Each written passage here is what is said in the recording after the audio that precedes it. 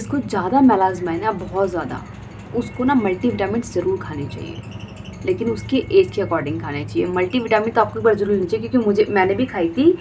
जिसका ज़्यादा मेलाज्मा है तो काफ़ी ज़्यादा उसके शरीर के अंदर कमी हो गई है। अभी वो डाइट लेना स्टार्ट कर रहा है, वो डाइट काम करेगी धीरे धीरे करेगी, लेकिन आप उसके साथ एक मल्टी विटामिन भी ऐड करते हैं तो वो काफ़ी अच्छा वर्क करेगा, क्योंकि वो जल्दी काम करेगा। क्या होगा ना कि आपकी शरीर के अंदर जो कमी रह गई है, वो मल्टी विटामिन जल्दी भरने की कोशिश करेगा। लेकिन एक बात है, अगर आप आपके डॉक्टर के सजेशन से लेते हैं तो वो काफ़ी बेस्ट है, क्योंकि वो आपको बताएँगे कि हाँ आपको इतने मंथ तक मल्टी विटामिन लेनी है।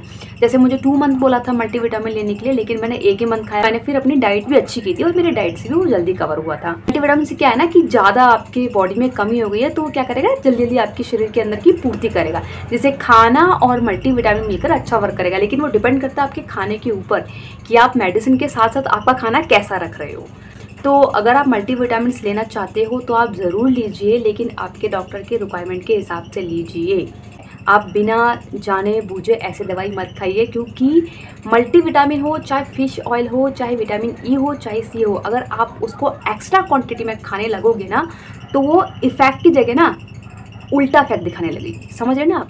जहाँ देखेगा ना अच्छा हो रहा है अच्छा हो रहा है तो अगर आप उसको लिमिटेड क्रॉस खा लोगे तो वो उसका उल्टा फैक्ट भी दिखाएगी। इसलिए डॉक्टर हमें बताता है कि आपकी एज के अकॉर्डिंग आपको इतने मंथ तक ये दवाई खानी, ये बहुत इंपॉर्टेंट है आपके लिए। बिल्कुल मैं सच बता रही हूँ, बहुत बहुत ज़्यादा इंपॉर्टेंट है।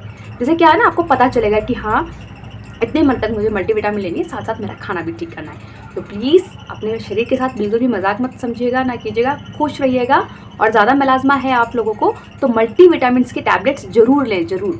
ये काफ़ी फ़र्क करेगी आपकी स्किन और आपकी बॉडी के लिए भी।